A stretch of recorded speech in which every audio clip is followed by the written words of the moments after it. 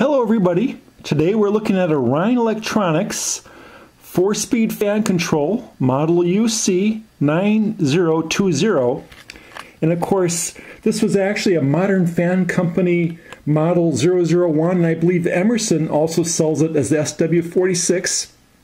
I had it up for about 8 days. In the middle of the night it just quit working. So let's take a look and see why the hell it's not working. I took it apart and there's a big clue. You can see all this black stuff in here.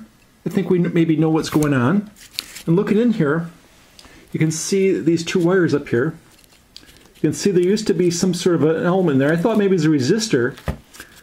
But looking on the back here, you can see it says F1, which means it's a fuse. And basically I looked, and this fuse is in series with uh, this wire here by my thumb. You can kind of see it, it comes in, goes through the fuse, and comes back, and then it goes through the switch assembly. You can see there's a switch assembly in here. You can see the, the oops. See how there's four switches? And as you move the slider up and down, you connect each of those different four bumps. You know, actually five bumps. There's off, you know, one, two, three, and four. And I took an ohm meter, and I found out when we're in position one, the top black wire and the, the bottom black wire are, are shorted together. So you get full power at one.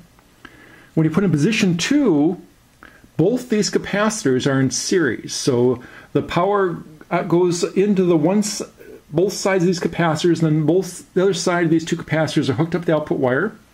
When you put in position uh, three, only the big capacitor is is in series, and in position 4, only the small capacitor is in, in series.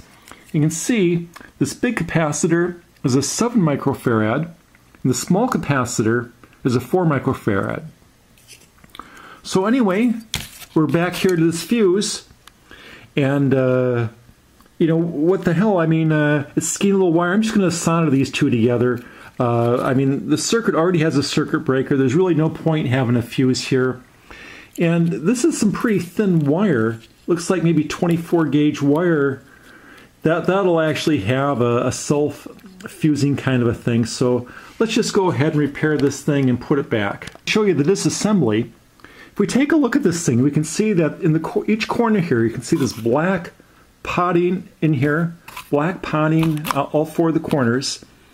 Now this thing here, you can see uh, see a little hook where my thumb's in there. There's a little hook there, little hook there. So basically, you kind of scrape away a little bit of the potting, and you can push these hooks back and pull this thing apart. Okay, I, I got the two pieces of wire to where they're touching. And the whole idea is we take a soldering iron, we get it nice and hot, get it, uh, melt a little solder on there, and uh, touch it to the two wires so they just barely get tacked together. And with the solder there and these wires, this will act as a natural fuse. Not that we need it, because like I say, there's a, a circuit breaker in line. There's really no point in having a fuse in this thing.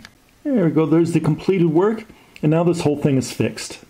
Well, I'm just going to use a little bit of glue here. This isn't actually super glue, but it's made by a super glue company.